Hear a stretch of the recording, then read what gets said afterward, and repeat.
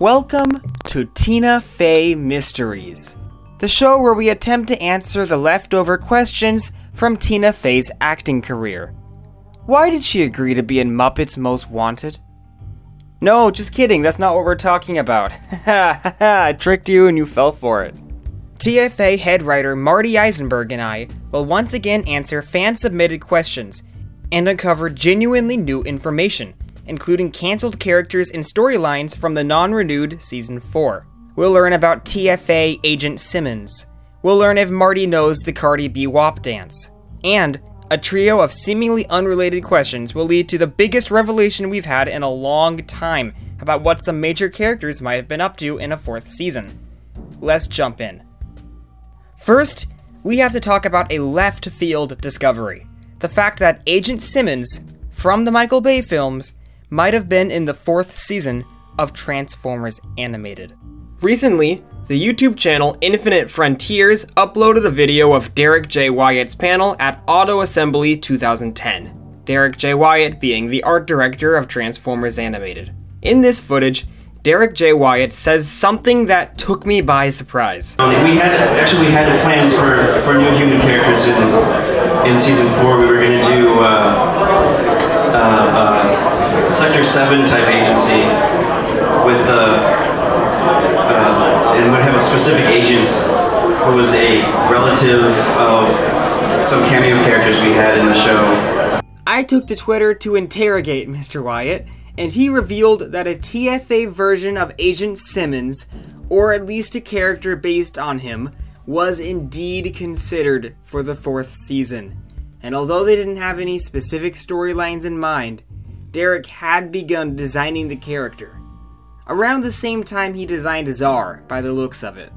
I colored the model for fun, and I made some fan art of the character that I might as well show you, even though it's not official. Huge thank you to Infinite Frontiers for uploading this. Agent Simmons, of all characters, may have been in the fourth season of Transformers Animated.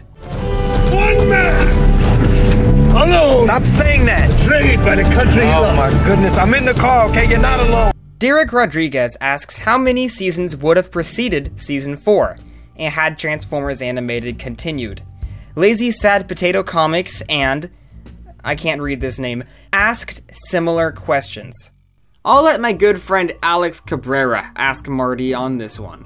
So, so which character had the most planned for them, like beyond season four? If if you had a concept We, of that, we barely got through a plan for season four, so uh, we didn't really have any plans for anybody beyond that. how was Transformers animated originally supposed to end? You probably can answer this, but you know, what is the ideal It, ending? it wasn't series? supposed to end. It was supposed to go on forever.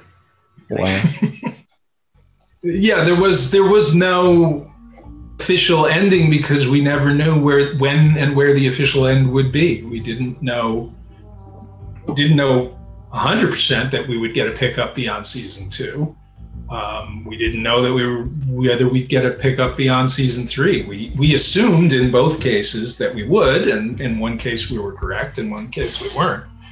Um, but you know the the plan at least on my end was to just keep doing it until they told me not to All right. wow.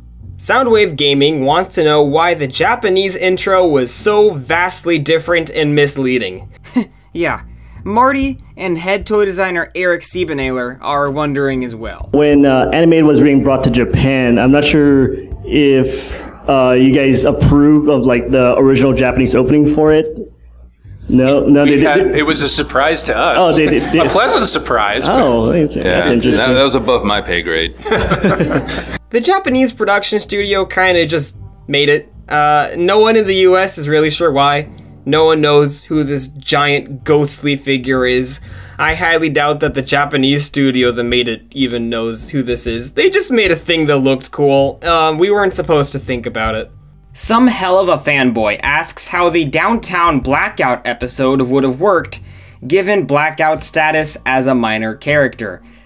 Well, I hate to break it to you, some hell of a fanboy, but the Downtown Blackout episode is a fan fiction and it originates from the Ideas Wiki. This this was never going to be an episode because as you said, Blackout is just an extra. Crichton Prime asks why all of the Autobots didn't have blasters. Well, there are both story reasons and development reasons for this one.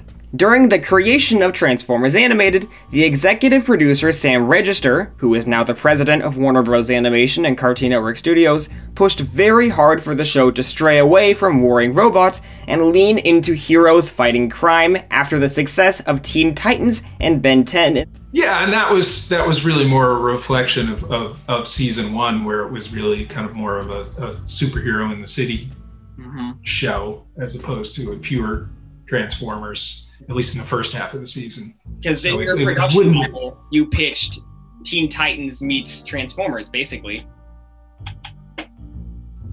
Uh, was I mean, that really came not from me. That was more from Sam because he had just done Teen Titans and had a lot of success with it. So um, mo- most of the things that are nods to Teen Teen Titans came from Sam, All right. Um, and Matt and Derrick had worked on on Teen Titans as well. This naturally led to a decreased focus on guns and weapons, and led to more creative problem solving using tools.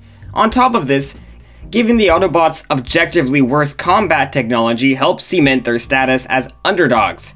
If every Autobot was dual wielding fusion cannons, they wouldn't be as outmatched. In addition, the fights wouldn't be as interesting. Combat in TFA is constantly varied, because the Autobots employ jump jets, magnets, wrecking balls, electrical blasts, shurikens, axes, grapplers, bolos, nets, only used once by the way. The powers bounce off each other and interact in super fun ways, and is far more visually and narratively interesting than if everyone just had an identical blaster gun arm.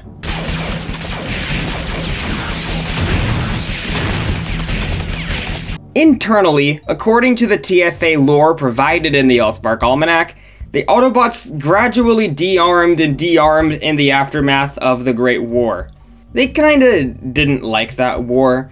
It scarred their society and they wanted to get away from that warrior culture, be as dissimilar to the Decepticons as possible. This led to the Autobot society appearing as it is, but is also the reason they're so vulnerable and ill equipped to halt Decepticon advances growing in size and power in the far outer reaches of the galaxy. So, TLDR, the whole storyline with the demilitarized resistance and the growing First Order from The Force Awakens was explicitly stolen from Transformers Animated. Also, the ending of The Avengers.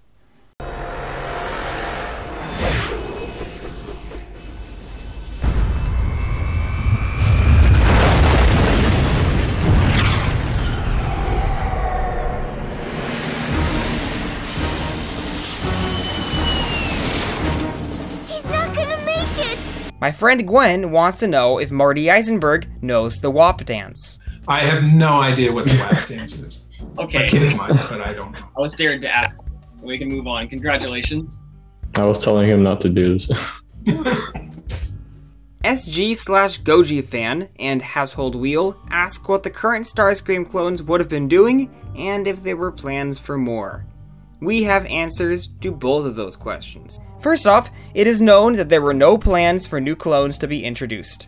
Will we have seen any other Starscream clones like Dirge in season four, how it went into production? I, th- I think we reached our limit on Starscream clones. I know we had Eric and I had talked about the last two, just so they could make toys of them. And, and Oh, remember, we, we had talked about it was it was gluttony and it was uh, Oh, right, right. We wanted a few. envy. Envy. Yeah. Oh, okay. So, So but we I did- don't we know did if we have a few more personality We had cards. this. Yeah, I don't know if they would have ever made it into the show because that yeah that arc was kind of done. Yeah, I I don't think we came up with any. We, there weren't any plans for season four stories around the clones. Ramjet and Sunstorm are in the Trial of Megatron outline, so we know they'd have come back. But what about Skywarp and Thundercracker? they were shot into space and transwarped, and we never seen we never saw them again.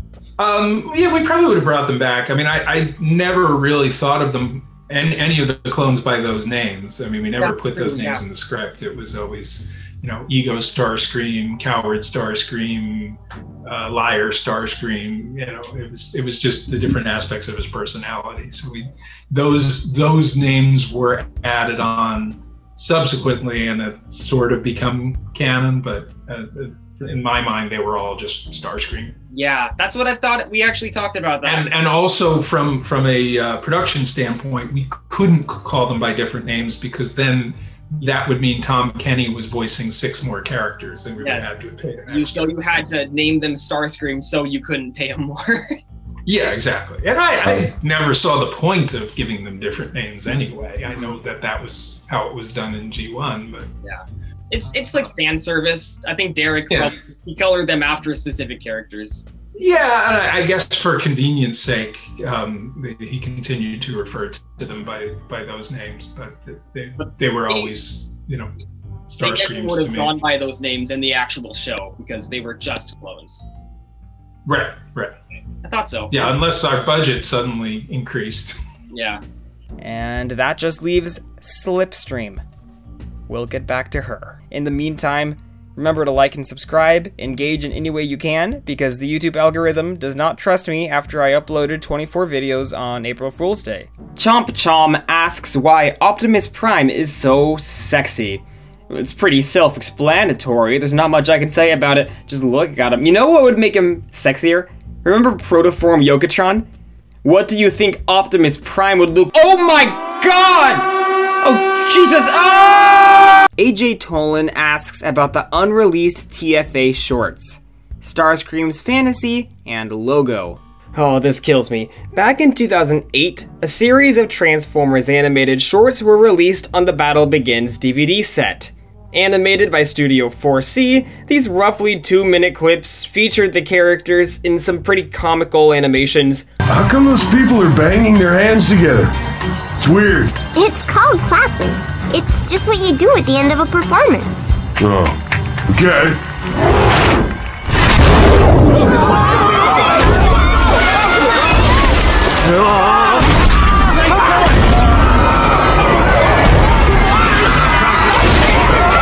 but two shorts weren't included on this DVD Logo and Starscream's Fantasy.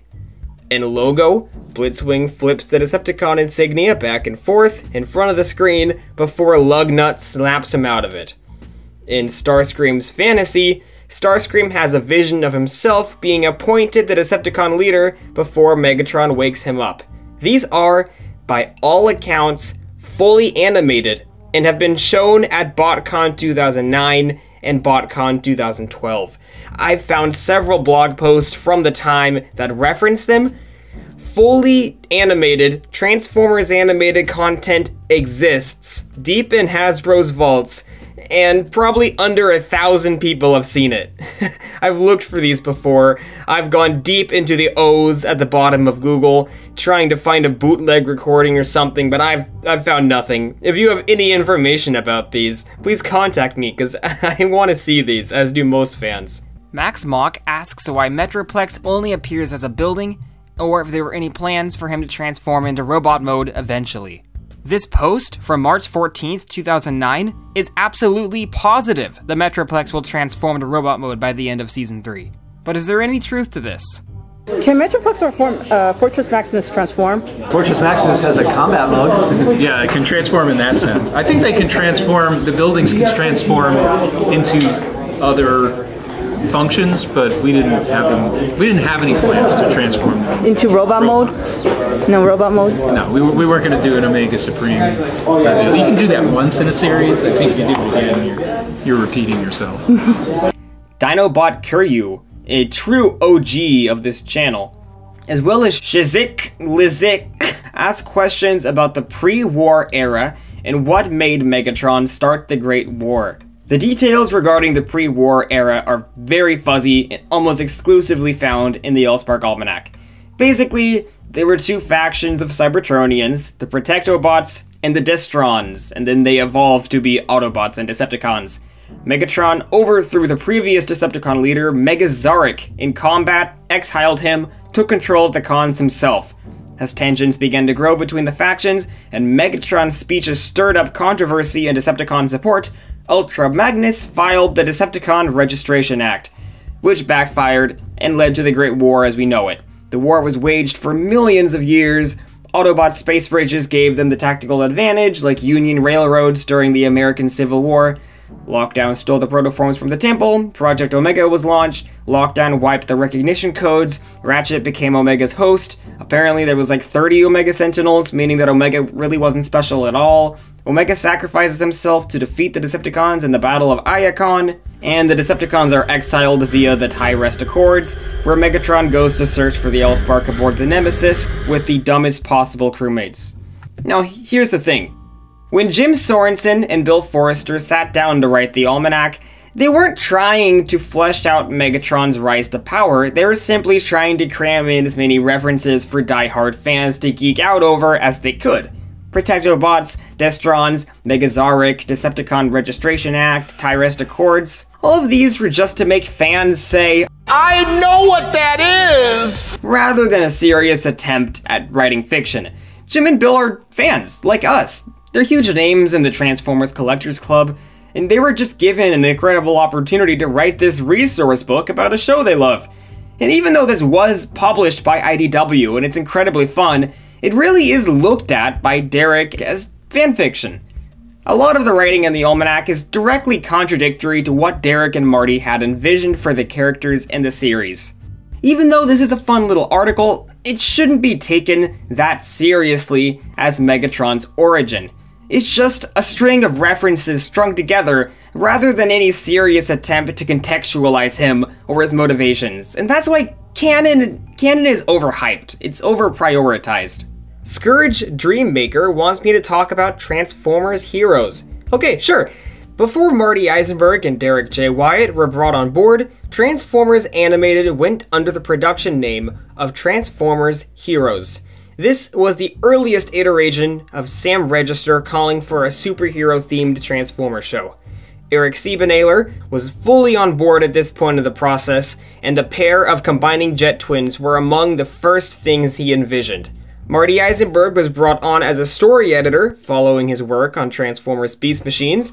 There, he created the production Bible, and Derrick J. Wyatt was brought on board soon after. Eventually, Hasbro decided to rename the series Transformers Animated to distinguish it from the live action films. In the early episodes of Transformers Animated, you can definitely see the skeleton of a show that used to be called Transformers Heroes. Because the question, what does it mean to be a hero, hangs over Optimus throughout the entire first season, before gradually losing relevance.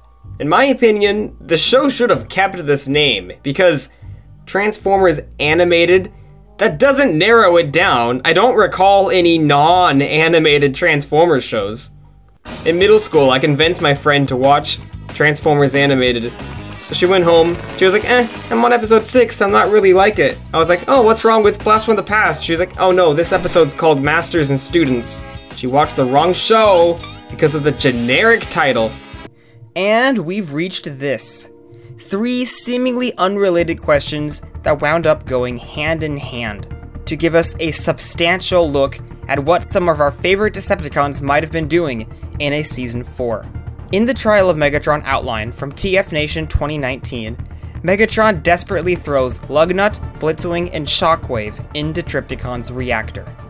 Fabulous Katska asks what their ultimate fate was do they was the idea that like they'd sacrifice their lives or would they have been fine would they have come back um, i think the plan was to bring them back somehow um, because i think the idea was that they were going to be um, a, a, a, sort of a, a, splinter faction that was going after megatron because they weren't too happy about how he treated them um, so i think the plan was to, to have starscream recruit them Oh. separate. Interesting. That was a question we had as well, as how Starscream might have plugged into season four. In Endgame Part 2, a deleted scene depicts Slipstream resurrecting Starscream by planting an Allspark fragment back in his spark chamber. I've animated this scene, and you should check it out. Christian Bouchard and Harris Wyatt 22 ask if this deleted scene would have been incorporated into the following season and what role Starscream would have had to play. Um, yeah, I think the the intention was to set it up for season four, and maybe the decision to cut it was based on the fact that there wasn't going to be a season four, so they wanted wanted the end, you know, that end game to feel more final. they were um, boarding and assembling that episode, I think we we had gotten the word. Oh, I, I just want to ask: Would you have moved it to season four? Had you gotten one? Yeah. Um. Oh yeah, yeah. I think it's necessary. Okay. To, Interesting. Wow. In issue 71 of the Transformers Collectors Club, a collaboration with Derrick Wyatt, the description of Megatron Must Be Destroyed mentions that Slipstream has a team of Decepticons. However, at TF Nation 2019, someone asked Marty this question, and he simply didn't remember Slipstream having a team of Decepticons. Harris Wyatt 22 asks about this team, and by now, the pieces are all coming together. And I'm gonna guess it's Lugnut, Blitzwing, Shockwave to kind of take down Megatron with Starscream. yeah, but I think um, it, it wasn't female Starscream who was in charge, or uh, I, I I looked at my description for it and it, it said Starscream. Oh, interesting. Because this is from Derrick, and it says uh, female Starscreams, Decepticons. Like I believe Derrick wrote these descriptions. Again, it's been like 15 years. The idea is Yeah, and, and maybe that was his. He had it in mind that maybe she was more the power behind the throne, and she she was calling the shots. Uh, I don't know. We hadn't um, we hadn't developed it. Okay. The details of it. So, I mean, if that's what Derrick wanted, that's probably what would have happened. So. Thank you for tuning in to TFA Mysteries. I hope you enjoyed this as much as I did. I would like to thank my Patreon supporters. Follow me on social media, like and subscribe, etc. Marty will be back next time as we discuss the specific timeline of the fourth season's development and lack of renewal, and we'll learn just how much of the fourth season was specifically planned out. Really quickly, I, I guess this flash forward episode may have been cut. Was there a, a title for it at any point? Um, I believe the title was. I'll see you then.